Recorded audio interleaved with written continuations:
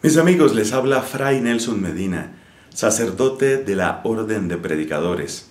Muchas gracias por este tiempo y un agradecimiento muy cálido al equipo humano y técnico que hace posible esta transmisión. Qué hermoso sentir que los medios de comunicación verdaderamente pueden ponernos en comunicación. Porque a veces los medios de comunicación dividen, incluso dividen a la familia, pero ese es otro tema, eso es para otro día. Hoy estamos felices y de eso se trata, hablar de felicidad. Estamos felices porque las puertas de muchos hogares se están abriendo y las puertas de muchos corazones están dispuestas para recibir este sencillo mensaje.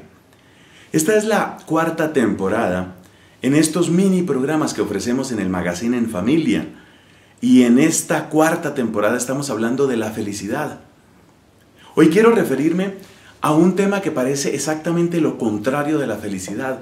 Vamos a hablar de la culpa y vamos a hablar de la tristeza que suele ir unida a la culpa. En esto nos va a iluminar fuertemente la palabra de Dios.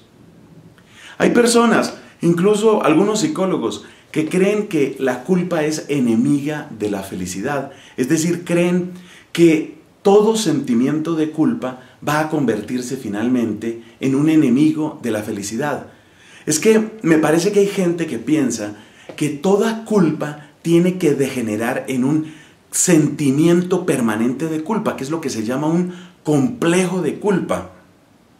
Yo creo que es muy importante diferenciar las dos cosas. Una cosa es la culpa y otra cosa es el complejo de culpa. Yo creo que la culpa como tal sí que tiene un lugar muy importante en la vida humana porque es un acto de honestidad, porque es la entrada franca de la verdad en la vida humana. Y la verdad ciertamente ilumina y finalmente conduce hacia la paz.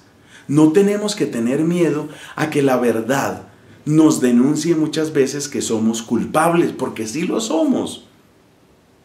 Si por ejemplo un hombre, un padre de familia, se da cuenta que ha cometido serios errores en la educación de sus hijos, porque le ha dado demasiado tiempo al trabajo y a hacer dinero y a gastar el poco tiempo libre que le queda con los amigos y nunca tiene tiempo para su familia. Y de repente empiezan a aparecer esas señales de alarma espantosas que puede ser un embarazo juvenil, que puede ser mi hijo consume droga, que puede ser tuve que llevar a mi hija donde el psicólogo porque está en depresión profunda. Muy posiblemente ese papá, si se examina honestamente, tiene que llegar a la única conclusión posible. Yo ciertamente he fallado como papá. Y yo creo que todos, si somos honestos, encontraremos cosas en las que hemos fallado. También el sacerdote, si se examina, tiene que llegar a la misma conclusión. Verdaderamente me he entregado, como Jesús buen pastor, me he entregado a mis feligreses en la parroquia. He he practicado, he vivido lo mejor de mi sacerdocio para el bien de la gente. Hombre, no, hay fallas, hay incoherencias. Es normal y eso es importantísimo, porque en el momento en el que uno reconoce lo que ha hecho mal, se está también dando la oportunidad de hacerlo bien.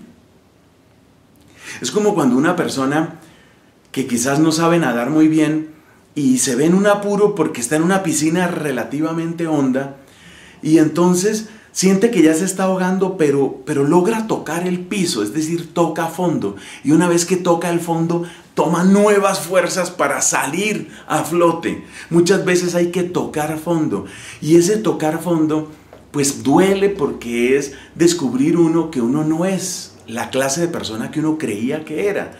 Y eso se llama descubrir la culpa totalmente distinto del complejo de culpa. El complejo de culpa es la persona que se entierra en su culpa, es decir, que no conoce la palabra esperanza, que no conoce la palabra misericordia, que no conoce la palabra conversión.